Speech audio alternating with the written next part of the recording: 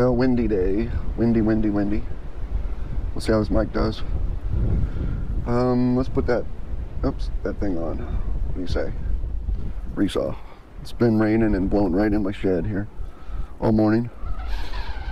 There you go. Hear the wind whistling between my uh, tripod. Um, should be simple, right? Should be simple. I got the I got the box and the instructions, and uh, we should lift that right up on there, right? I don't know. Y'all know what instructions are, right? Instructions, instructions, instructions. They're right there. Oops, they're right there. You know what they are, right? Just another man's opinion. So let's see what they say. Nah, let's just hook it up. Damn, you weren't recording that. Well, that's a heavy pallet. It's probably a good thing you weren't recording it. I said a couple curse words trying to pick that up. But it just barely balances on the forks. I should be able to get it right up on there. It's raining out here. But I don't have a sawmill shed. I can get in. That'd be nice. I can get in a freaking shed. Let's try not to drop this. What do you say? Whoa.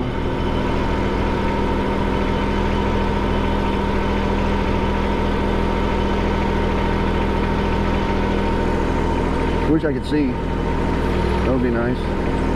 Oh, almost there. There we go.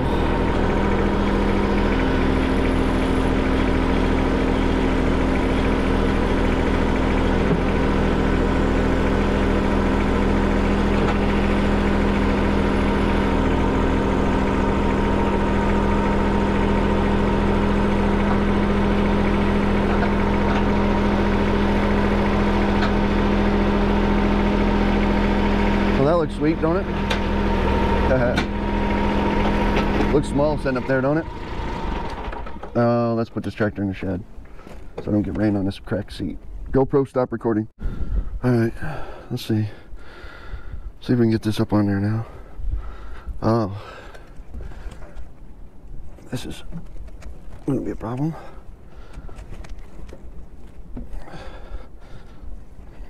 I wonder if that's supposed to go. Maybe I ought to read the instructions.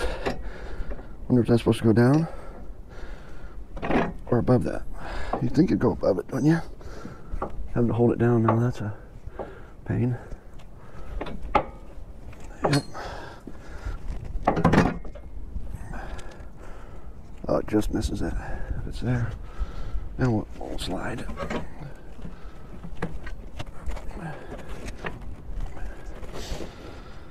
Something on the other end won't slide. Oh, it's got on it bolt. There we go. All right.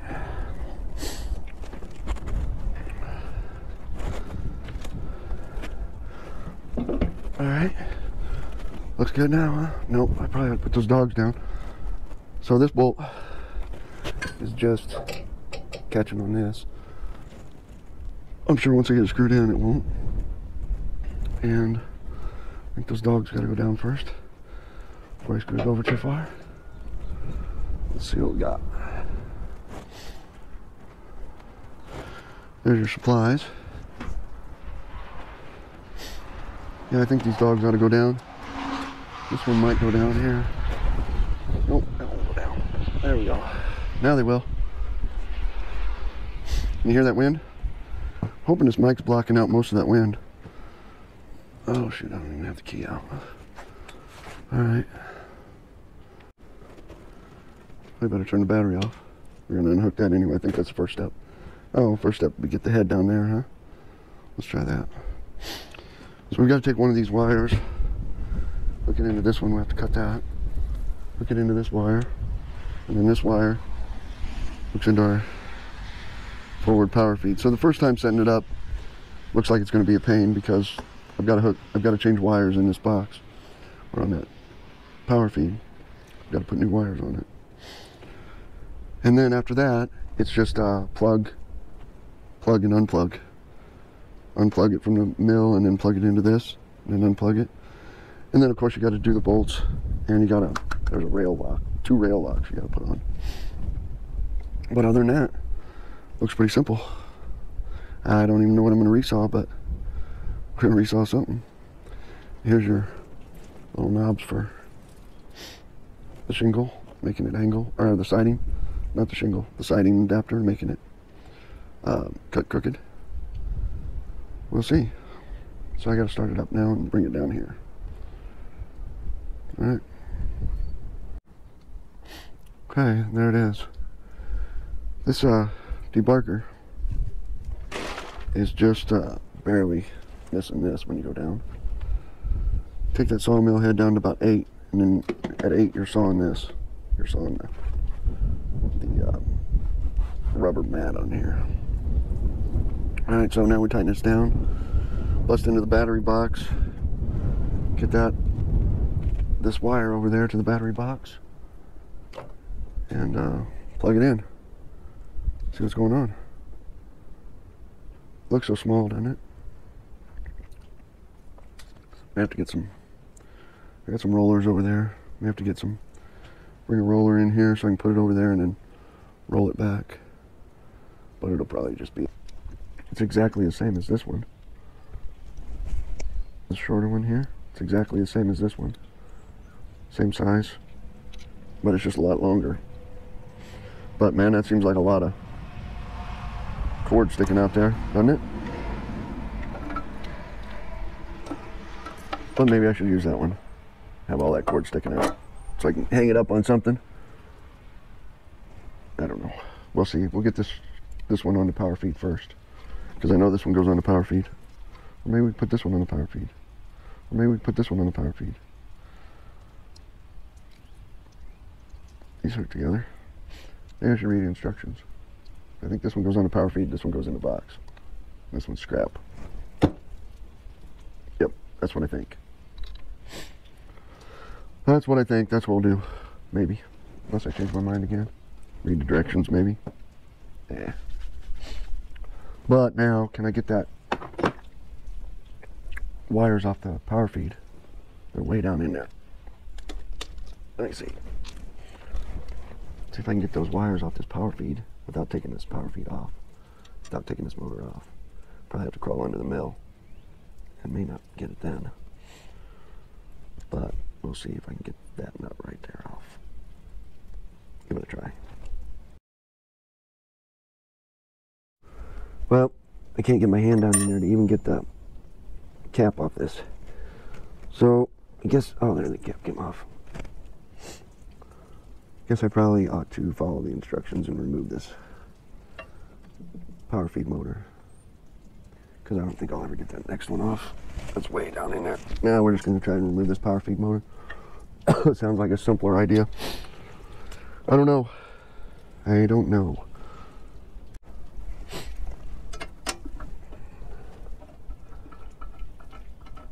Don't know how to do this either.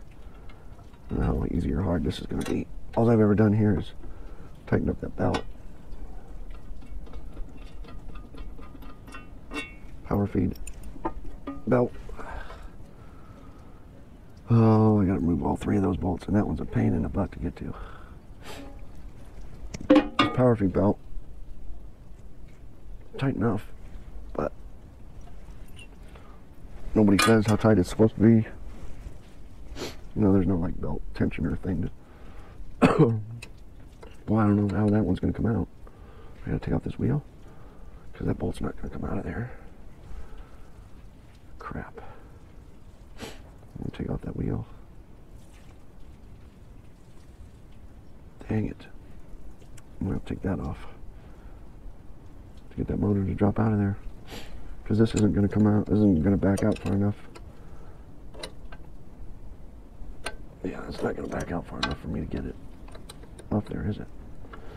Dang it. Should have read the instructions.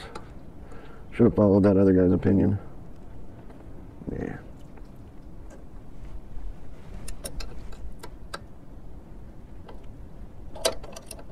Boy, that's tight. I don't think there's any way that that's going to come off there without taking this wheel off. But I can at least get this belt off.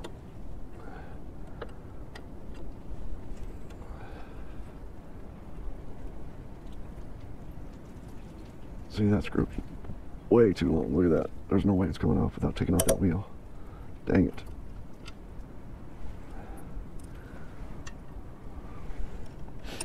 Dang it, dang it, dang it. I didn't want to do that. But I really can't get my fingers in there to do it the other way. Yeah, there's no way that those nuts are coming out. The nuts coming out of there.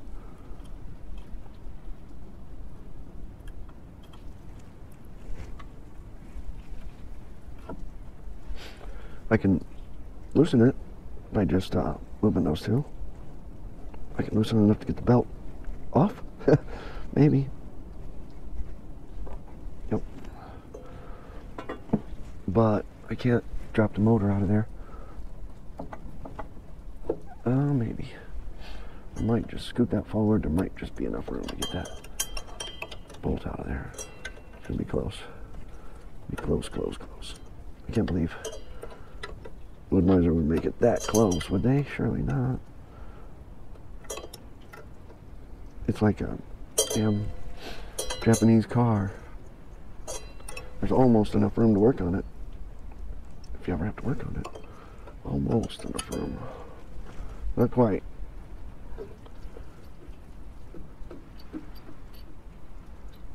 And now, of course, the motor can't drop out. I'm going to have to take that off. Damn, how many? Just got two tightening points on that.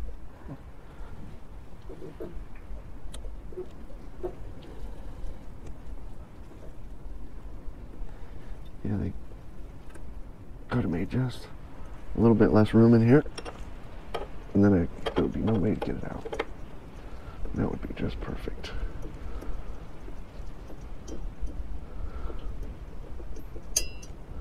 But there's just enough room.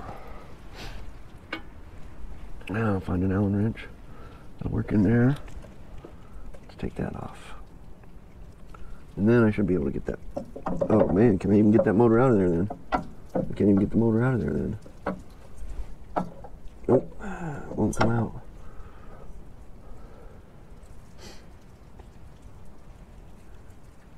Have to pick up the motor and drop it out? I don't know. There's a bar under there stopping it from coming out. Hopefully there's enough room to get that motor out find an Allen wrench. So now that I can turn this motor around, still, don't need to take that off. I might be able to get this off there. I don't know how you replace this power feed. Probably have to look that up someday. But man, there's just not any room down in here to get this off.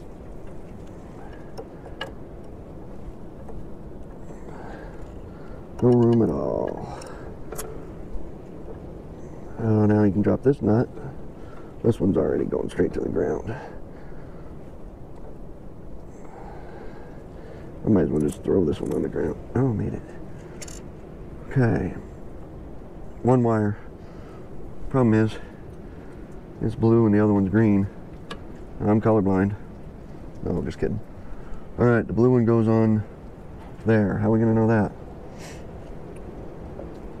Huh. Alright, let's try this. Blue one goes on there. What the one with the black line is the blue one. How about that? Turn it over. And hey, this one's got a black line on. No, just kidding. Turn it over and I can just barely get this wrench in there. Yep, yep, yep, yep, yep. There we go. Drop this nut on the ground.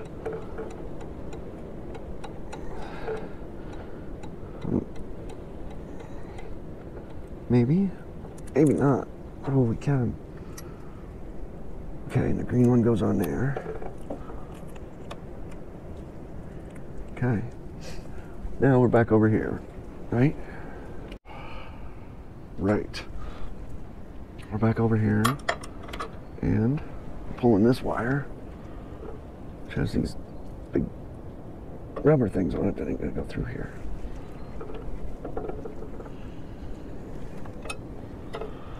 So there's no way that rubber thing's gonna go through that. And I can't take it off. But I don't need a rubber thing, right? Dang it. I need to put it back on. the other wire.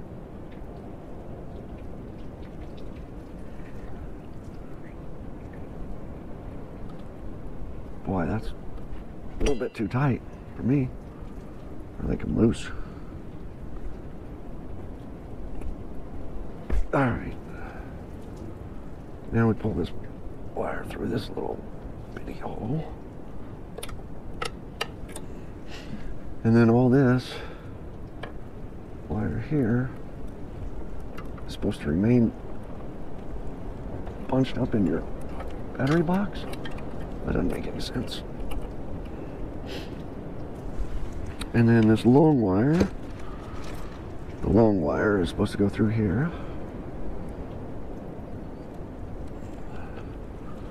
One at a time, they don't both fit. They may not both fit at all. Alright, maybe two at a time. Maybe the same time.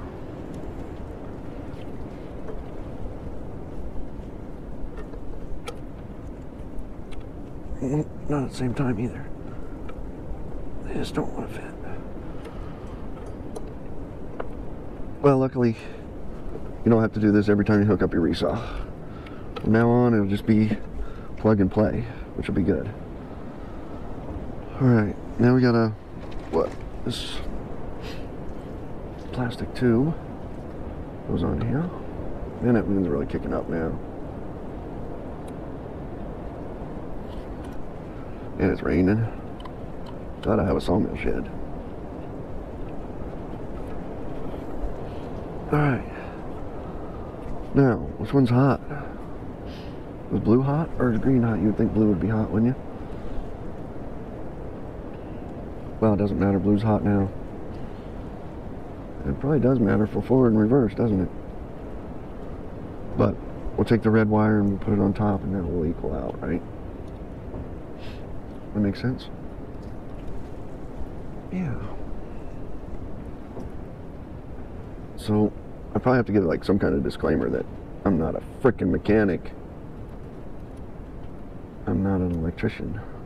Don't follow my electrical advice. Because I don't know shit about this stuff.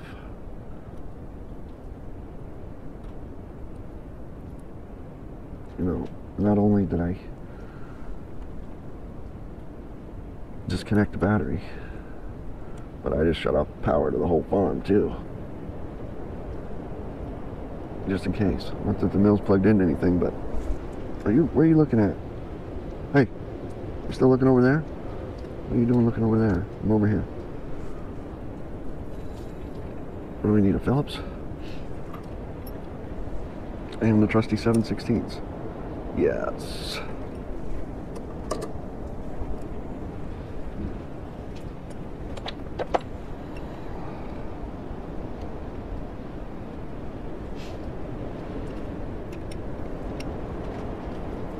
Now, wait a minute.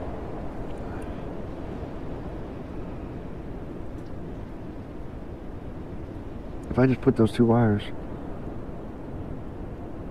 through here, doesn't that make them touching together? So I only need to put one through there?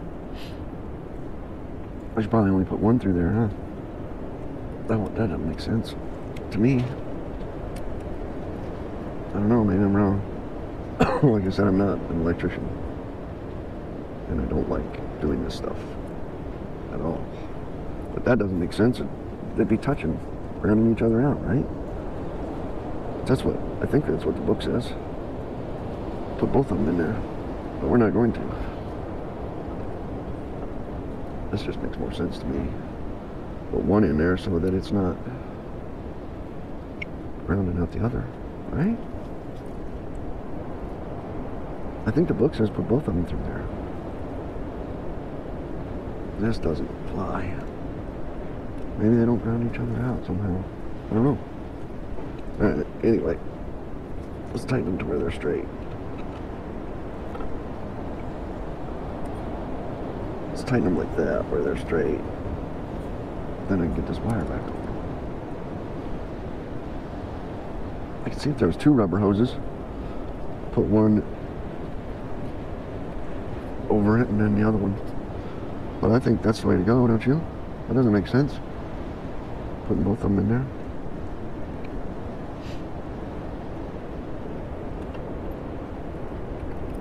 It's 50 out. Well, it's probably about 40 now. My hands are getting cold. But it's better than a 30 degree day. This is February.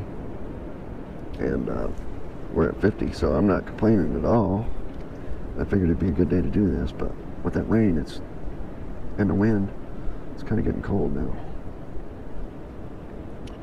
All right, we're just going to leave this one out of the wire because it doesn't make sense to me to put it in there. Uh, it'll probably kick up with sawdust and spark and catch the whole damn thing on fire. I don't know. But we're not going to do it anyway. Okay. Now we've got this wire. Now we take the short wire, shorter one here, sawdust all over it, and we hook up the red and the black. Well, which would be red would be the blue and black would be the green. Alright, so you gotta go back up here if you want to see anything. Probably really don't want to see anything, do you? Can't see anything with my big head in there anyway, right? My big head's probably in the way the whole damn time. Alright, so this black one here is to go on this side because it has no mark on it. It's going to go right over there. And then I'm going to put on this nut after I drop it on the ground a couple times. Wow, you just can't get your fingers in there. I'm probably going to get this video back inside and won't be able to see crap because my everything's in the way. Oops, wait a minute. Let's try one of these. You want to put one of these on there? Let's try. I don't know if it'll go over that. Ooh, one more chance to drop this nut on the ground. That'll probably be a good time to do it. nope. What the heck? I don't think I can get this over there. You? Look at that. That shouldn't go on there. And it doesn't. There's no way to get that on there, is there? Man, I hate this electrical crap. Maybe I just turn it inside out? Is that what you do? I don't know.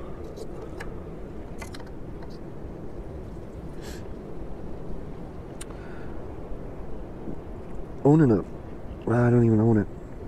Having a sawmill sure makes you a freaking mechanic and electrician and everything else. Boy, that don't want to go over there. And I'm not a mechanic. I don't even want to be a mechanic. I'm damn sure not an electrician. But I think we're getting somewhere here.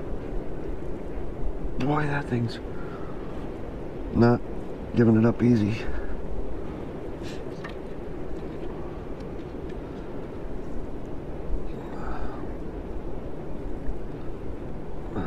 even if I even if I rip this plastic, I'm better off with it on there, right? What a bunch of crap. That's... They probably sent something in that kit that I could be using, right? Let's see if that's... It's really not on there like it's supposed to be yet. Alright, I'm going to have to go off camera to do this. Because I can't keep you on camera and yeah I can got it. That's not that's not very nice. Right there look at that I twisted that too. That's not very nice at all. Yeah that's not nice at all. Should be that should be against the law or something right there. I'm gonna go off camera, but that's how you do it. It's just easy, right? I'm gonna get the other one on.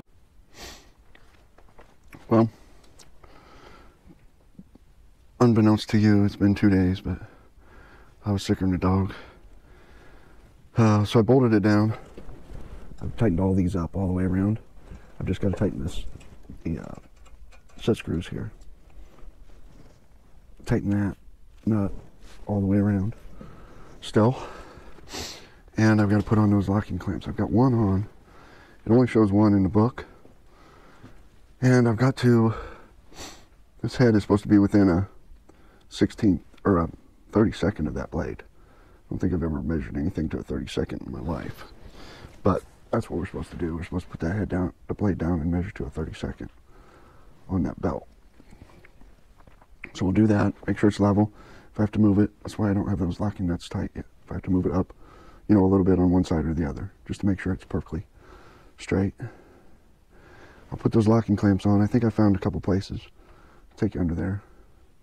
Um, the book doesn't really show exactly where to put those locking clamps, but it can't be too hard. Heads, the idea is the head uh, can't move forward or backwards once you get it set. So I'm going to lower this blade and put some tension on the blade, and I'm going to lower the blade and uh, level this out.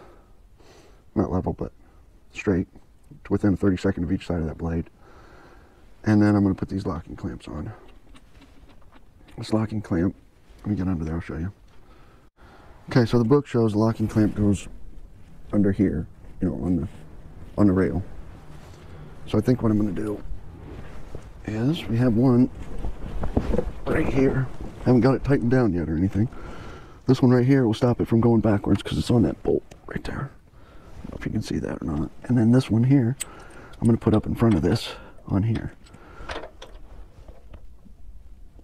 And then tighten it. You tighten it right on that, on the lower rail. That'll stop the head from accidentally going forward or backward. So it's hand tight. So tighten this down, and then I'll tighten this down. These are both just loose.